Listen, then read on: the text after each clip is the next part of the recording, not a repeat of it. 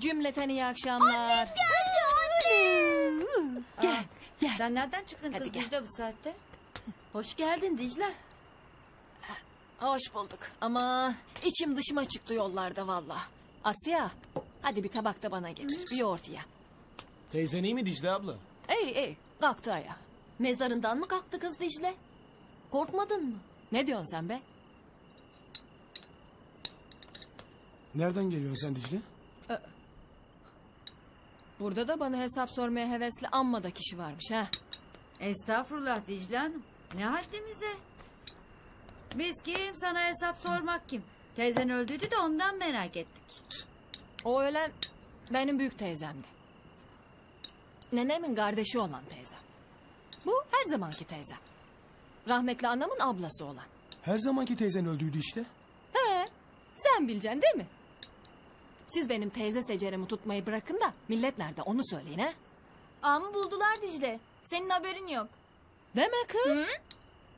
E, Dedim ben size ayılınca ortaya çıkar diye. Nerede bulundu? Ağır yaralı. Hastanede. Mardin'de arabasıyla mayınlara çarpmış. Çarpmasıyla başka memleketlere kadar uçmuş. Ana deme kız. Ağan paramparça. Allah korusun sabaha akşama bekliyorlar. Allah korusun be. Ne biçim konuşuyorsun sen? Durumu ağır canı. Hepsi gitti. Bir Dilara ile Zeynep burada. Bir şeycik olmaz ama. Yanıkları için de ben merhem getirdim. Ama hastaneye götüreceğiz yalnız Memo ha. Aa, bu belli canım. Her bir şeyi biliyor.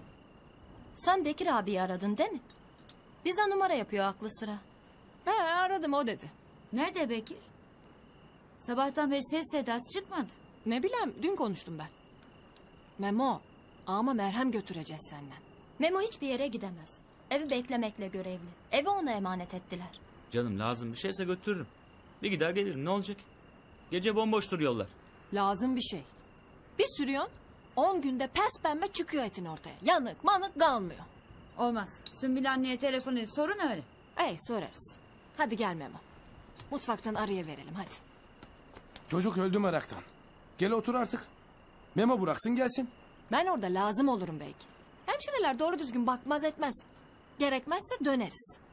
Hadi anne. Hadi. Az daha sabret. Paşa oğlum benim. Geleceğim şimdi ha? Hadi hop. Otur bakalım. Heh. Memo abisi hadi hadi. İki taş arası kırk tane numara. Başka işi yok bunun.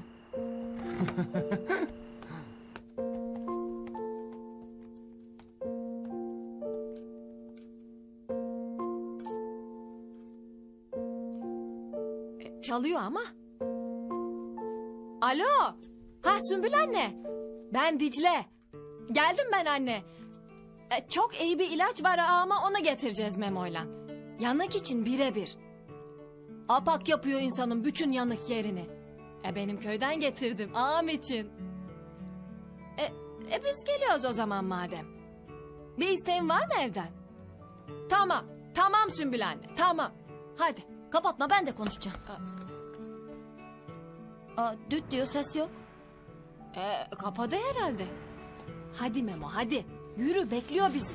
Hemen gelin dedi. Yürü hadi.